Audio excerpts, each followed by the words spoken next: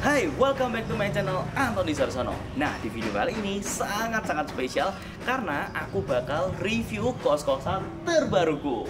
Ini spesial banget karena aku bakal bikin kalian itu lebih mengenal lagi tentang dunia kos-kosan dari bagaimana ketika aku mulai membelinya, nanti mulai aku ngegambarnya itu seperti apa, terus nanti renovasinya tuh bakal berlama-lama dan renovasinya juga bakal aku ajakin kalian untuk ikut sampai akhirnya hasil jadi kos-kosannya itu seperti apa bakal aku reviewin semuanya. So teman-teman ikutin videonya ini sampai habis kita akan langsung masuk ke dalamnya.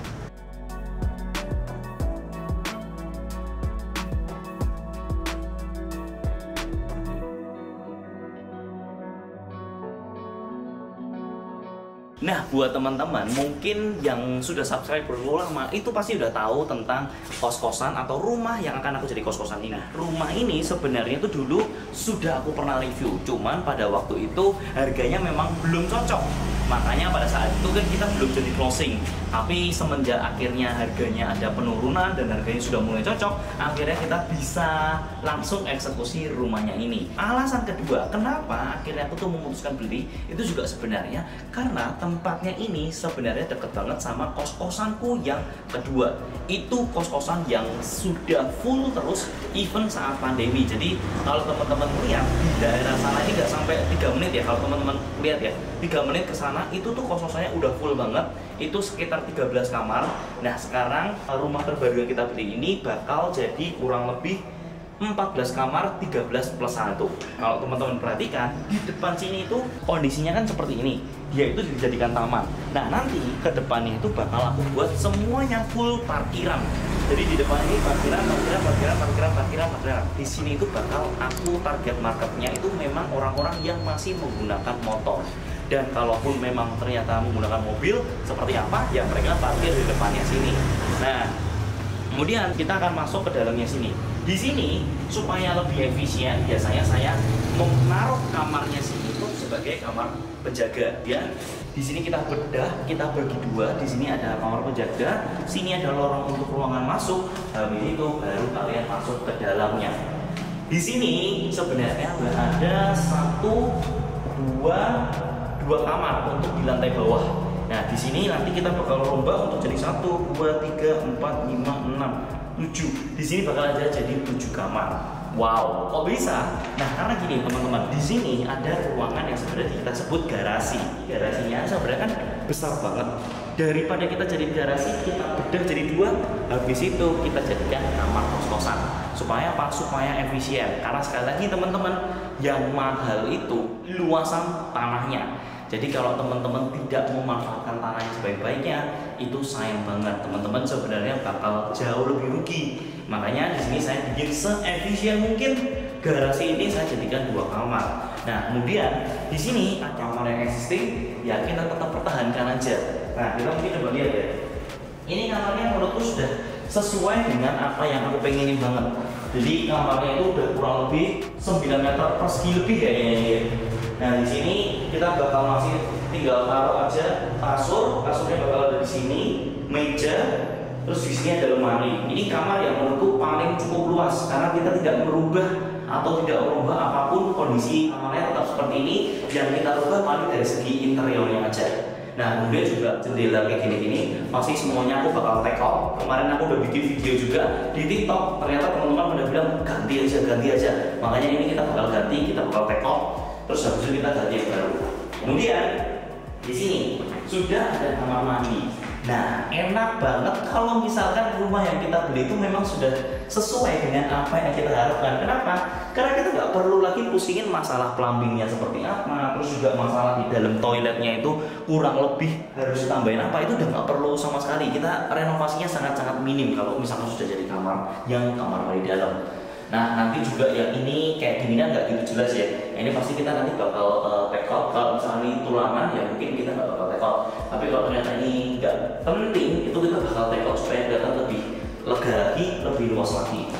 Kebetulan ini juga untuk tinggi ruangannya juga cukup besar. Tingginya itu kurang lebih sekitar 3 Nah, cuman yang masalah ini sebenarnya yang agak unik dari rumah yang aku beli lantainya itu aneh banget. Jadi kalau bapak ibu perhatikan dari depan itu ada naik tangga satu, dari sini ada kenaikan lagi. Terus kemudian di sini ada penurunan lagi. Ya kan? nah nanti ke dalam garasi ada penurunan lagi. Di sini ada kenaikan lagi. Terus di sini ada kenaikan lagi. Ini nggak tahu sih faedahnya tuh apa kenapa dibuat ruangannya tuh banyak naik turun naik turun sebenarnya kalau di filosofinya orang Chinese sebenarnya kalau tempat makan itu memang harus dinaikkan gitu supaya lebih hoki karena tempat makan itu kan tempat di mana kita tuh sudah bekerja keras terus kita harus makan. Nah itu tempatnya harus lebih tinggi dibandingkan dengan area komunal. Tapi nggak ngerti kenapa kalau yang ini filosofinya apa? Harus semuanya tuh naik turun. Ini aneh banget kalau yang ini memang aku bisa terima karena ini katanya dulu sebelumnya dijadikan tempat untuk berdoa tempat sholat di sini. Makanya bisnis naiknya itu ya oke okay lah masih make sense. Tapi dapur ini ikut naik terus ruang komunal turun ini ruangan apa lagi juga naik lagi. Ini menurutku benar-benar aneh banget. Dan bongkarnya ini sangat-sangat mahal. Dan lama teman-teman perhatikan ya gancurin ini tuh sangat-sangat lama. Bayarnya juga mahal banget jadi buat teman-teman yang renovasi seperti ini perlu juga diperhatikan ya. Karena bisa gawat kalau misalkan teman-teman tidak spare budget yang lumayan untuk renovasi yang cukup signifikan seperti ini. Nah solusinya apa?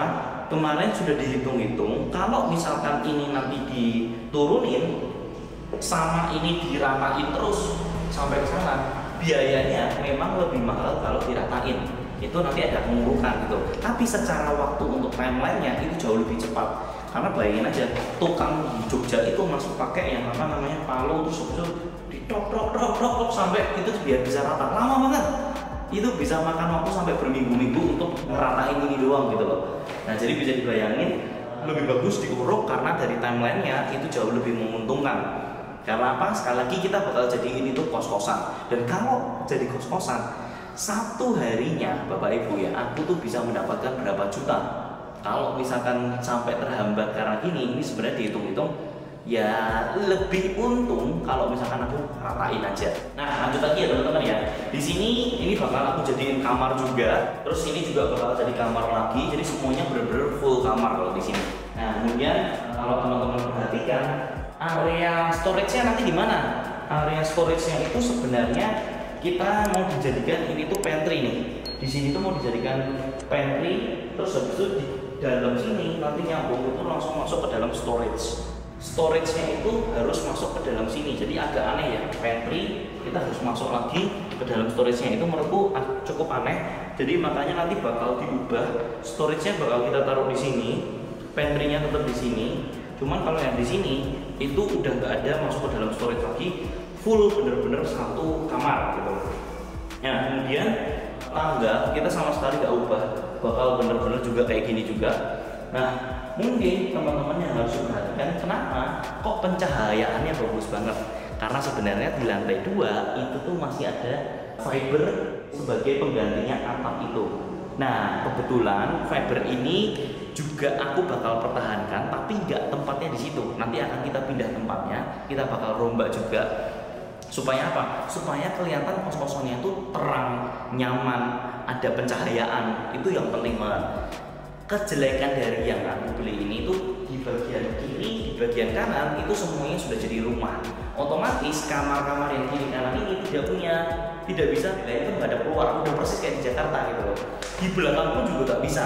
Yang kita bisa cuma di bagian depan. Jadi kalau di bagian depan itu bakal kita jual lebih mahal lagi karena di sana itu pencahayaannya lebih bagus gitu. Makanya kita ini sengaja nanti bakal ada fiber di tengah-tengah sini supaya ketika nanti mereka buka jendela itu ya serasa kayak ada pencahayaan yang masuk ke dalam kamarnya. Kurang lebih sih kayak gitu. Nah kemudian kita akan masuk ke lantai duanya Nah kita bakal masuk ke lantai duanya, tangganya juga kurang lebih bakal kayak gini, kita nggak akan rubah, paling rubahnya di bagian kayunya ini doang.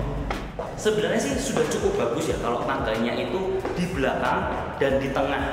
Karena biasanya di Jakarta itu aku banyak sering nemuin tangganya itu kadang-kadang di tengah, bisa bener-bener di tengah literally gak jelas banget kenapa tangganya itu mengganggu bangunan-bangunan yang lainnya. Nggak jelek banget kalau di Jakarta sering banget gitu. Di sini juga bakal ada tujuh kamar lagi. Ini sudah ada kamar existingnya. Dan kalau teman-teman lihat ya kenapa kamar ini terang banget dibandingkan dengan kamar yang lain-lainnya. Karena sebenarnya teman-teman di kamar ini ya itu sudah ada fibernya lagi. Jadi aku sebenarnya itu cukup seneng ya kalau misalnya rumah atau kamar itu ada fibernya. Dulu pernah aku ngide untuk bikin satu kamar yang bener-bener dikasih fiber kayak gini. Yang terjadi apa? ternyata anak kosannya tuh marah-marah saya kalau mau tidur siang nggak bisa tidur karena terang banget kayak gitu loh. Padahal kalau secara pencahayaan bagus banget karena yang paling alami kan ya cahaya matahari ya. Nah kemudian di sini juga kita nggak bakal ubah-ubah oh sorry ini nanti bakal jadi toilet uh, toiletnya antara ini dengan ini. Terus kemudian di sini bakal ada satu kamar lagi satu kamar lagi satu kamar lagi satu kamar lagi. Jadi totalnya kayak gitu. Dan tipe yang ini menurutku bakal jadi tipe yang paling unik. Ini mungkin juga tidak terlalu kelihatan. Nah di sini tuh kamarnya tuh bakal tipe loft. Jadi dia akan ada tangga masuk ke sana ke lantai tiga. Habis itu mereka kasurnya tuh tinggal di dalam sana. Cukup effort tuh buat naik lagi karena ada lantai tiga. Cuman keunggulannya apa? Keunggulannya dia itu bisa taruh space itu lumayan besar di sini. Nanti bisa tinggal jadi meja lemari, kursi semuanya itu bisa lengkap di sini atau mungkin ada sofa juga di sini. Habis itu mereka kalau mau istirahat di lantai duanya. Jadi ruangan ini nggak ngerti. Kalau menurut kalian gimana nih? Kalian juga nggak ruangan ya? Sebenarnya lantai satunya bisa dimanfaatkan banyak, tapi kalian harus naik lagi untuk kalian bobo. Lebih suka kamar yang biasa atau kamar yang ada naikannya? Coba kalian ngobrol di kolom komen nih. Kalian suka yang mana? Ini juga aku baru praktekin pertama kali konsep yang kayak gini sesuai dengan kondisi keadaan yang sekarang gitu. Jadi kita nggak ubah-ubah. Kalau memang kayak gitu ya kita lanjutin aja. Kurang lebih kayak gitu. Nanti yang bakal kita rubah juga itu juga dari tampilan atapnya ini karena atapnya seperti pada rumah-rumah Jogja di tahun 1900 tahun 2000 semuanya tuh masih menggunakan kayu. Nah otomatis supaya nggak kena rayap dan karena kita ini jangka panjang pasti kita akan rombak. Semuanya itu bakal dijadikan holo. Ini renovasinya bakal cukup besar banget tapi teman-teman ini semuanya tidak menggunakan dana pribadi. Jadi ini asik banget seru banget. Teman-teman bakal belajar banget caranya bagaimana saya bisa membeli propertinya ini tanpa menggunakan modal. Gitu. Jadi ini menarik banget ini seru banget. Kalau teman-teman benar-benar mengerti cara caranya kalian juga bisa melakukan apa yang aku lakukan juga. Kurang lebih kayak gitu mungkin terakhir aku bakal nunjukin satu lagi yang di bagian balkonnya supaya teman-teman bisa lihat juga keadaan teman-teman sekitar itu seperti apa. Yuk.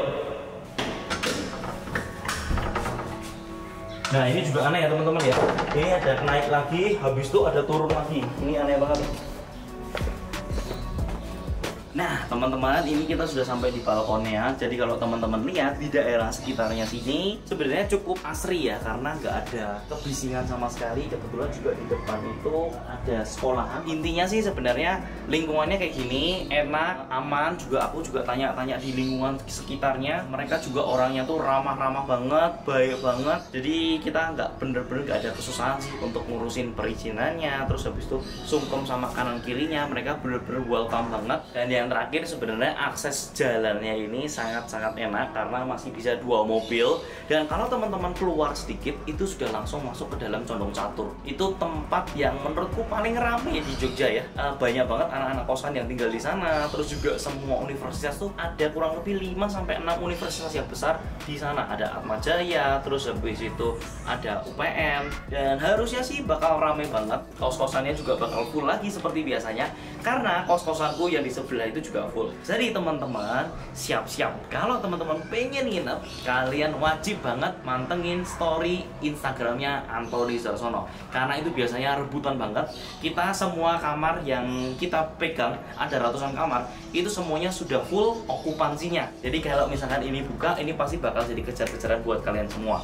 So far aku kan sekarang sudah tinggal di Jakarta, jadi nanti kalau misalkan ada waktu, ketika masa renovasinya kan kurang lebih sekitar tiga bulan, aku bakal reviewin lagi supaya kalian tuh bener-bener ngeliat ini hasil reviewannya tuh seperti apa renovasinya seperti apa nanti kalau jadi seperti apa. Jadi aku pengen teman-teman itu belajar banget apa yang aku buat dan kalau bisa aku harapin juga teman-teman bisa join di workshopku juga karena apa? Karena di sana nanti bakal teman-teman itu dapat akses.